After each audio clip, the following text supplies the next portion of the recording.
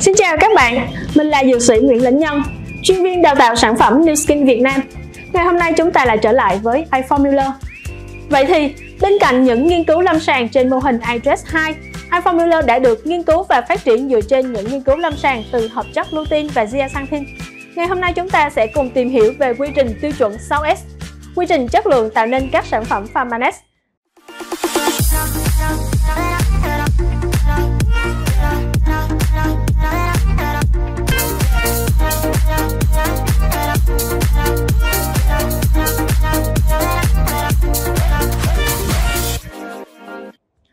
iFormula được nghiên cứu và phát triển sản phẩm dựa trên quy trình chất lượng tiêu chuẩn 6S của Pharmanex.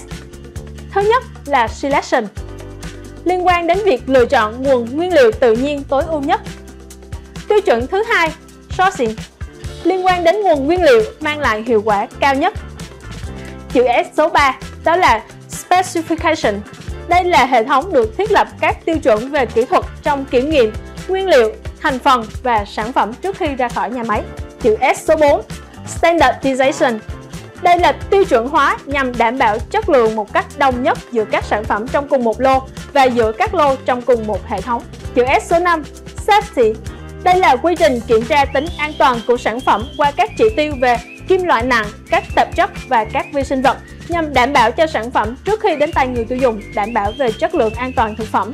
Và chữ S cuối cùng Substantiation đây là khoa học kiểm chứng lâm sàng dựa trên mô hình iTrust 1 và iTrust 2 để cho ra những công thức có lưu lượng an toàn và hiệu quả cho sức khỏe về đôi mắt. Quy trình tiêu chuẩn chất lượng 6S đảm bảo iFormula cho sức khỏe đôi mắt của bạn. Chỉ với 2 viên mỗi ngày, iFormula bảo vệ sức khỏe cho đôi mắt cho người từ 14 tuổi trở lên khỏi những tác động của ánh sáng xanh.